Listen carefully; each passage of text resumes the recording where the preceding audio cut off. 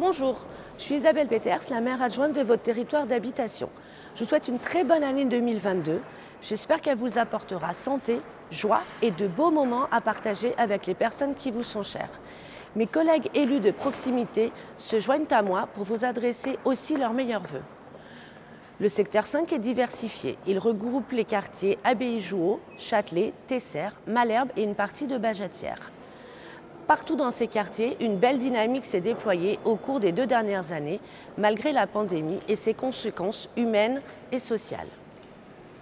Ce moment particulier a vu émerger de beaux élans de solidarité. Certains collectifs citoyens sont même nés pendant le confinement et ils sont toujours actifs aujourd'hui.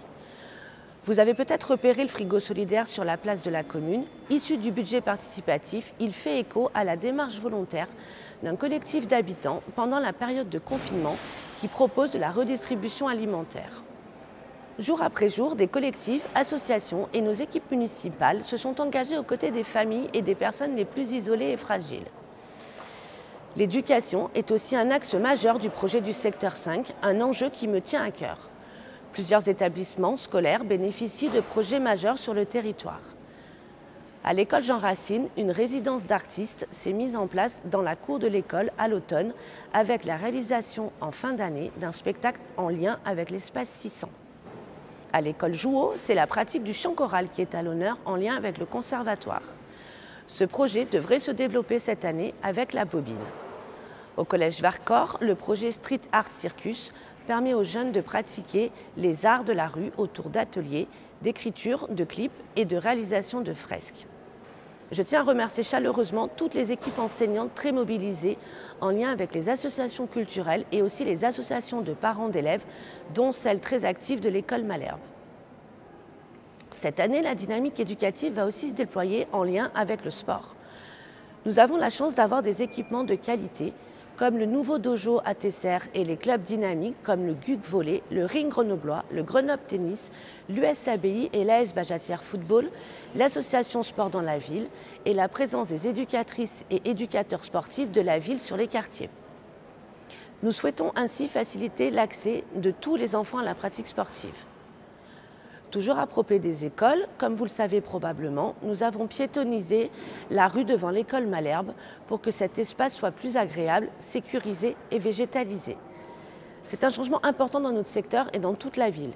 Nous sommes attachés à ce que ces nouvelles places aux enfants puissent profiter au mieux aux enfants et aux familles.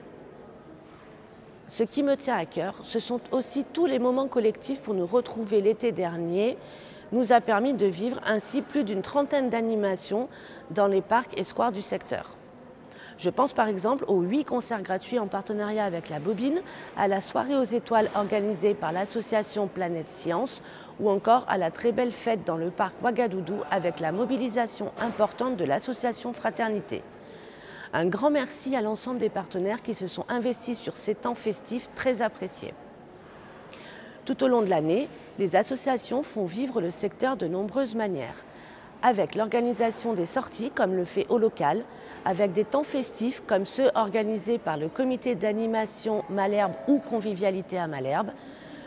Le grand collectif, quant à lui, nous invite à de belles découvertes culturelles et le collectif Les Voisins, un tiers-lieu, anime le quartier. Et le café associatif de la Pirogue s'est créé des moments de convivialité très appréciés. Vous connaissez peut-être aussi les soirs jeux développés par les maisons des habitantes et habitants et le centre social de la Bajatière. Elles sont tellement appréciées qu'elles ont donné naissance à un projet plus large autour de la pratique du jeu en famille et à la création de deux ludothèques sur le secteur. Dans les projets que nous conduisons, j'ai à cœur d'associer les habitantes et les habitants, y compris bien sûr les nouvelles personnes qui s'installent dans le secteur. Nous voulons que chacune et chacun puisse prendre part à la vie des quartiers lors d'ateliers de concertation ou encore de forums d'échange.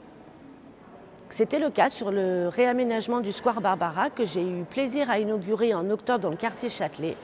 Vous avez peut-être repéré la très belle stèle qui rend hommage à la chanteuse. C'est le fruit d'un travail en atelier avec un groupe d'habitantes et habitants. Nous avons aussi recueilli l'avis des riverains concernant l'avenue de Washington, ce qui va nous permettre en cours d'année de finir l'aménagement de cette avenue qui sera maintenue en, impasse pour les voitures. Cette démarche de concertation est aussi celle que nous adoptons sur les autres projets d'ampleur, comme par exemple la réhabilitation de la cité Abbaye.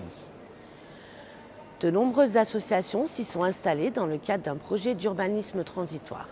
Elles seront bientôt rejointes par des petites entreprises de l'économie sociale et solidaire. Les premiers bâtiments Place Rivou vont être prochainement réhabilités et le jardin de l'abbaye sera étendu.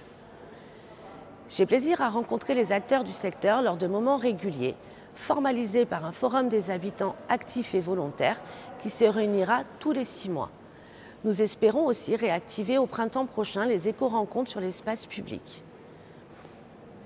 Je veux évoquer enfin les projets qui se développent pour faire plus de place à la nature en ville. C'est le cas avec les Jardins sans frontières, nés du budget participatif qui se sont implantés sur les berges de l'Isère. Nous prévoyons aussi de réhabiliter le parc romanais et de le raccorder au parc Soulage par une venelle. C'est un beau projet qui se tisse là encore en concertation avec les habitantes et habitants de Jouot. Le jardinage urbain, la participation citoyenne, l'alimentation de qualité, la biodiversité, ces sujets et bien d'autres encore vont être au cœur de l'année Grenoble Capitale Verte Européenne qui démarre ce mois-ci. C'est une fierté pour notre territoire et c'est aussi l'occasion de mobiliser largement autour de projets écologiques et sociaux qui vont transformer durablement notre territoire. Tout le monde peut participer à cette dynamique, habitantes et habitants de tous les âges, associations, clubs sportifs. Les projets et les événements vont être nombreux tout au long de l'année à venir. Je vous invite à y prendre part. Et samedi 15 janvier, ce sera le lancement officiel de l'année Grenoble Capitale Verte. Vous pourrez suivre cet événement en ligne et participer à un escape game géant dans Grenoble. L'un des parcours partira du centre-ville et l'autre de Grand Place. Alors, à très vite et excellente année à vous.